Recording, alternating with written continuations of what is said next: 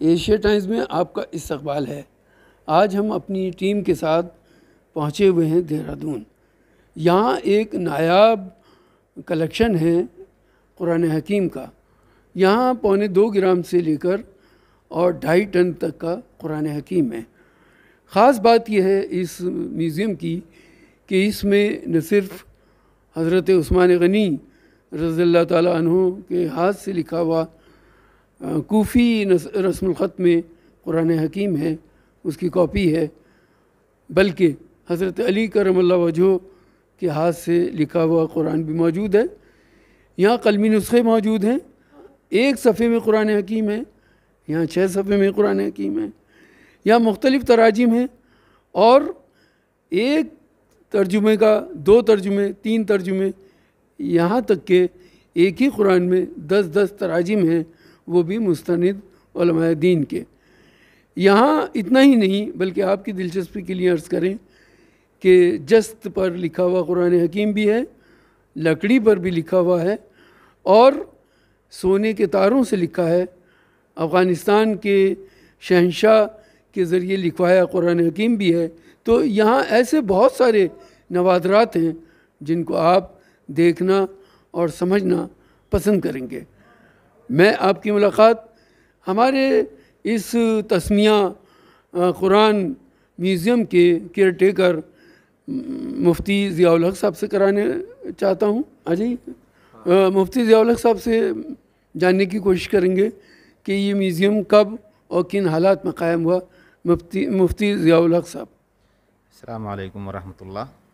सबसे पहले तो आप तमाम हजरात का कुरान करीम म्यूज़ियम देहरादून में इस्तकबाल है, आपका खैर मकदम है। इस कुरान मजीद की और इस कुरान म्यूज़ियम की एक तारीख़ और एक हिस्ट्री है।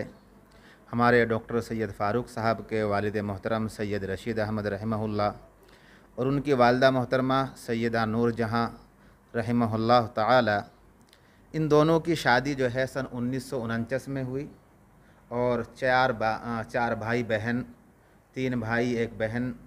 इन चारों ने अपने वालद मोहतरम की सरपरस्ती में जो है और ज़ेर साया जो है परवरिश पाई।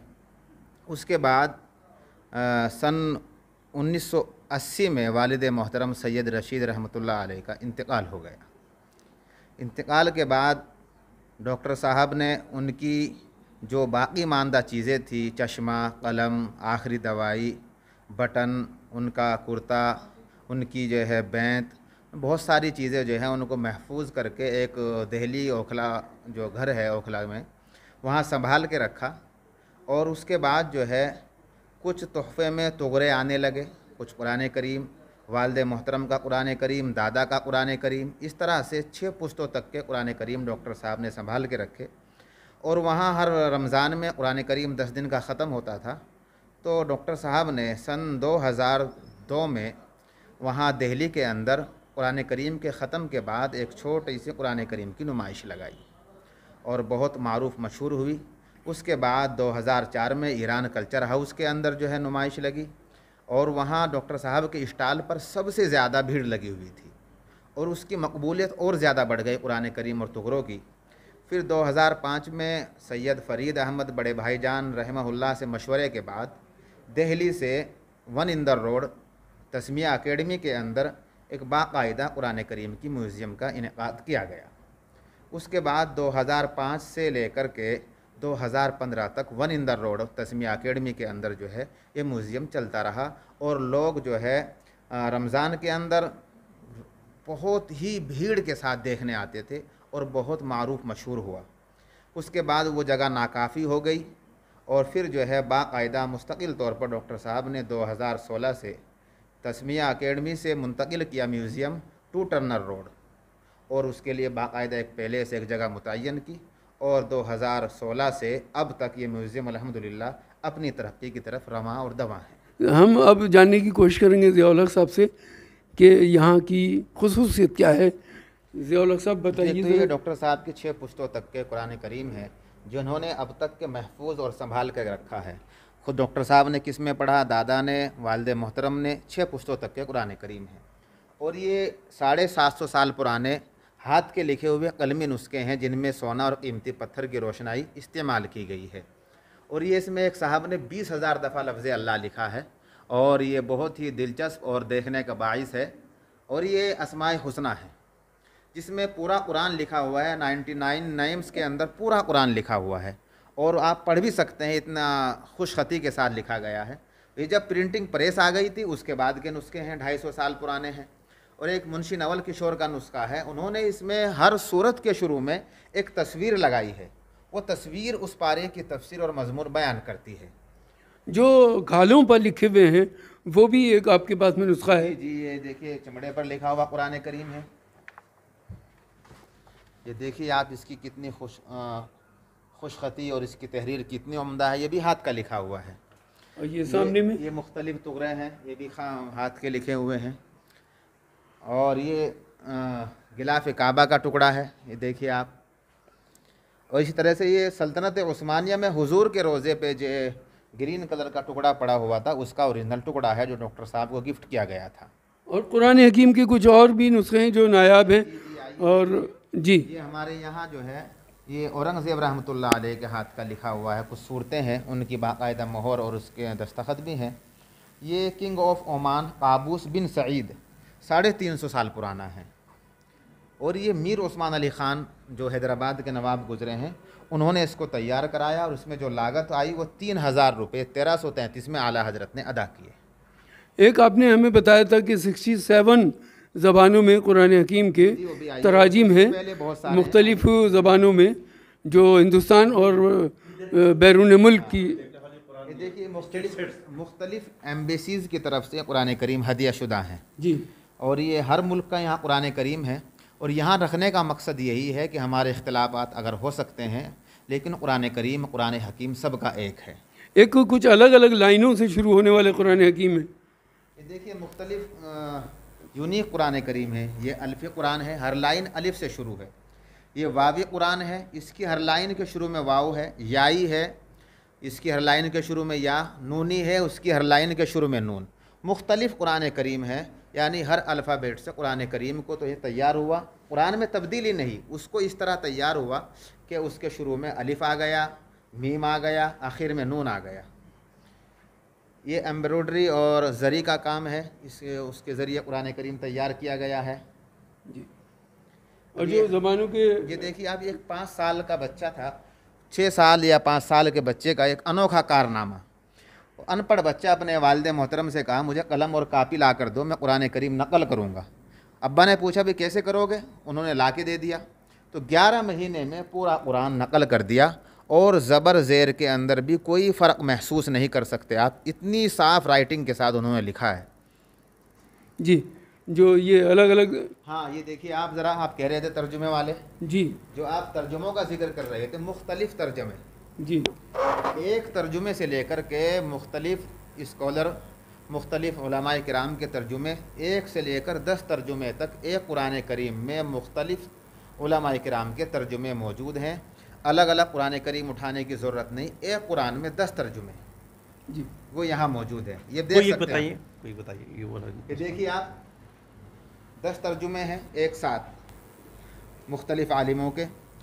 शाह रफ़ीउद्दीन साहब शाह अब्दुल कादिर साहब शेखुल हिंद रहमतुल्लाह अलैह मौलाना अशरफ अली थानवी मौलाना हाफिज़ नज़ीर साहब मौलाना अहमद रज़ा ख़ान बरेलवी मौलाना आशिक इलाही मेरठी हज़रत अल्लामा वहीदुज़्ज़मा मौलाना फ़तेह मोहम्मद ख़ान मौलाना अब्दुल माजिद दरियाबादी। एक साथ इतने बड़े बड़े आलिमों के तर्जुमे एक साथ मौजूद हैं।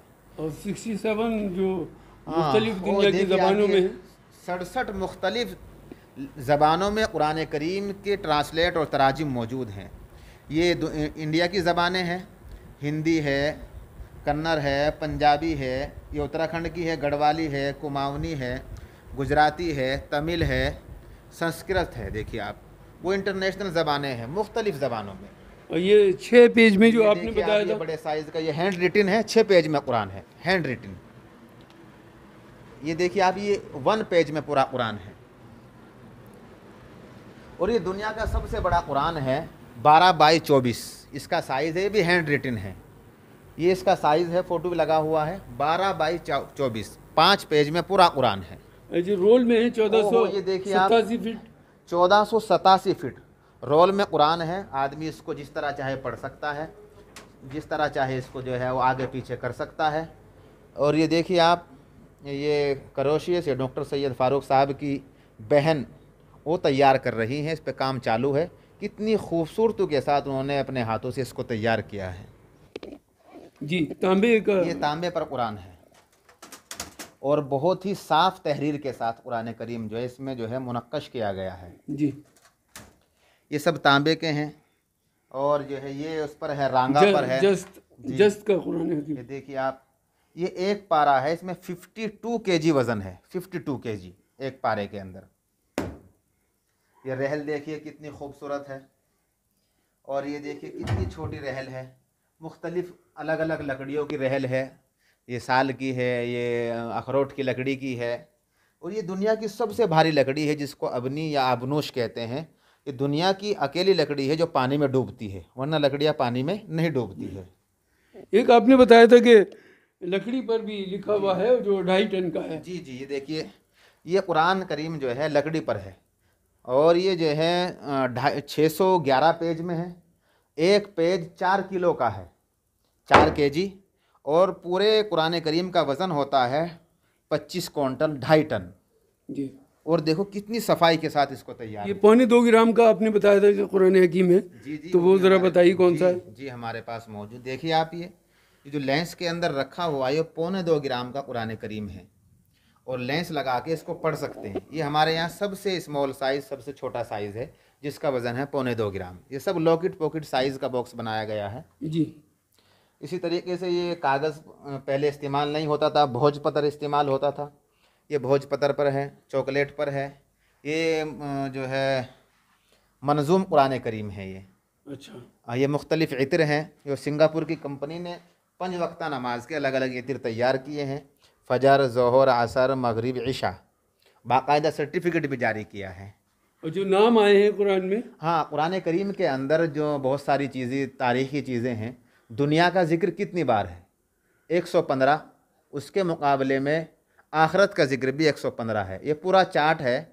इसमें हर चीज़ को कुरान में बराबर ज़िक्र किया गया है। एक जो आपने शरीफ का हाँ ये देखिए आप ये इल्म रियाज सूर अखलास है। इल्म रियाजी के अतबार से कुरान करीम का मुजज़ा देखिए। जिस लाइन से भी आप मुड़ेंगे सूरत पूरी हो जाएगी। देखिए आप अहद चाहे ऐसे पढ़ें तब भी पूरी। उल्लाह अहद अल्लाह समद लम यलिद वलम यूलद वलम यकुल्लहु कुफवन अहद हर लाइन से जिस लाइन से आप मुड़ेंगे सूरत पूरी हो जाएगी। यह कुरान हकीम का मौजज़ा है। ये देखिए आप एक देखिए आप बहुत ही दिलचस्प चीज़ें हैं। जी। ये ये ख़त्ते गुलकारी के अंदर है देखिए आप। हाँ। ये ख़त्ते गुलकारी के अंदर है खूबसूरती है। ये ख़त कोफ़ी है, ये भी सूर फातिहा है। इसी तरीके से आप ये देखिए, ये सूर कौसर है, इन्ना आतीना। और इसका मुजज़ा ये है, सबसे छोटी सूरत है कुरान करीम की।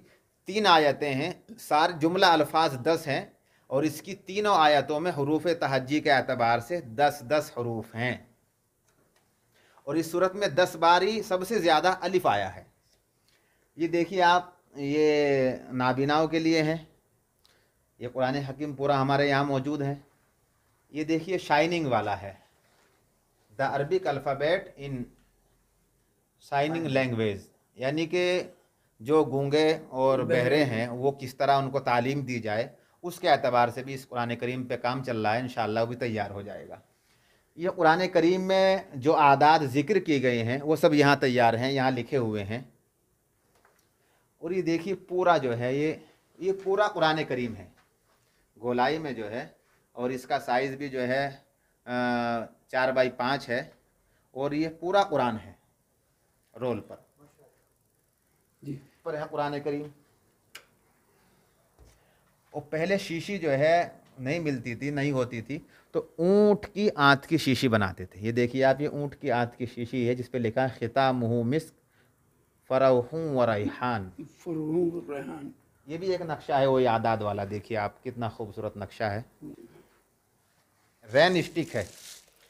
और जो चीज़ जिसकी सोहबत में रहती है, उसका असर रहता है। सीप जो है, समंदर में पाई जाती है। समंदर में बारिश की आवाज़, लहरों की आवाज़ रहती है। ये देखिए आप इसमें।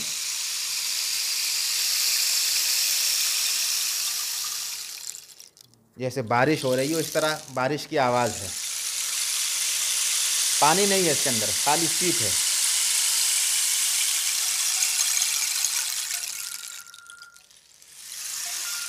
हज़रत उस्मान गनी रज़ी तु का कुरान हकीम है। जी जी। जी। वो भी हमारे यहाँ मौजूद है जो हज़रत उस्मान गनी रज़ी अल्लाह तन ने पहली बार कुरान करीम जिल्द कराया था हज़रत उस्मान रज़ी अल्लाह ताला अन।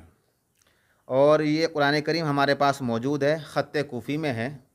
और एक सफ़े में बारह लाइन है एक हज़ार सतासी पेज हैं और अस्सी किलो वज़न है। अस्सी किलो वज़न। ये भी हमारे पास मौजूद है ओरिजिनल तो इसका इजिप्ट के अंदर है यहाँ उसकी कॉपी रखी हुई है। हज़रत अली देखिए हज़रत अली रज़ी अल्लाह ताला के हाथ का लिखा हुआ है। ये भी हज़रत अली रज़ी अल्लाह ताला के हाथ का जो लिखा हुआ हमारे पास मौजूद है। औरिजिनल तो जामा मस्जिद के अंदर है और हमारे यहाँ भी उसकी एक कॉपी रखी हुई है। जी और जो पुराने बर्तन हैं। ये ये मुगलिया दौर का जो है, ग्लोब है। अब इसमें भी कुरान करीम की आयत लिखी हुई, कुछ आदात लिखे हुए हैं। वो इसको घुमाकर क्या फ़ाल अच्छाई या बुराई लेते थे? हुकूमत और बरकत हुकूमत को वसी करने के लिए और बरकत हासिल करने के लिए उसको इस्तेमाल करते थे। ये सब पुराने बर्तन हैं, तांबे के हैं, पीतल के हैं। ये देखिए, देग कितनी पुरानी है। और ये पहले थर्मस इस तरह का होता था। पानी या चाय गर्म रहती थी ये उस तरह का होता था पहले ये पानदान है देखिए सबसे बड़े साइज़ का हमारे यहाँ और वो सबसे छोटा साइज़ है हमारे यहाँ पानदान का। और ये लोटा भी बड़े साइज़ का है और ये सब पुरानी सुराही हैं गिलास हैं। हम्म, जी। अ, सोना और चांदी पर कुरान करीम की आयत हमारे यहाँ मौजूद हैं। ये महर फ़ातिमी की मकदार है।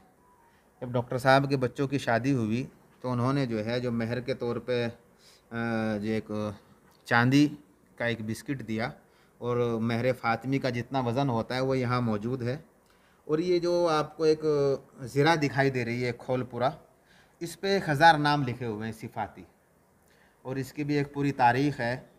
कुछ किताबों के अंदर लिखा है कि हज़रत मोहम्मद सल्लल्लाहु अलैहि वसल्लम जो है एक जंग में या एक किसी मार्के पे शरीक थे और वहाँ आप एक भारी ज़रा पहने हुए थे। वो ज़रा बहुत वज़नी थी। एक वही आई, हज़रत जबरील अमीन तशरीफ़ लाए और उन्होंने कहा, आप ये ज़रा उतार दीजिए और ये नाम पढ़िए। आप जो है उसके वज़न से हल्के हो जाएँगे। तो आपने वो नाम पढ़े और अल्लाह तबारक व ताली ने आपको फ़तह भी नसीब फरमाई। वो सारे नाम इस ज़रा पे लिखे हुए हैं। कि आप बता रहे थे कि कुरान हकीम है जिसमें खुशबू आती है। वो भी हमें दिखा दीजिए। वो भी हमारे पास मौजूद है। कुरान हकीम तो सारे खुशबू वाले होते हैं लेकिन ये एक नायाब कुरान करीम है। ये कुरान करीम पैंसठ साल पुराना है। और इसके कागज़ के अंदर जब इसको तैयार किया इसमें ग्रुप्स हैं। देखिए आप ज़रा अगर देखेंगे बावजू हो आप। जी। तो इसमें जो है जितनी बार आप खोलेंगे इतनी खुशबू आएगी। कभी अलग से इसमें खुशबू इस्तेमाल नहीं की गई है। जितनी बार खोलेंगे बहुत ही भीनी भीनी उम्दा खुशबू आती है। और आज तक इसमें खुशबू मौजूद है। ये थे मुफ्ती ज़ियाउल साहब जिनसे हम जानने की कोशिश कर रहे थे। उन्होंने हमें एक एक करके इस म्यूज़ियम के बारे में तफसील से बताया। आप बने रहिए हमारे साथ। हम इस तरह की और भी स्टोरी आपके साथ शेयर करते रहेंगे। अगर हमारी वीडियो आज की पसंद आई हो तो लाइक कीजिए और शेयर करना ना भूलिए। बहुत बहुत शुक्रिया।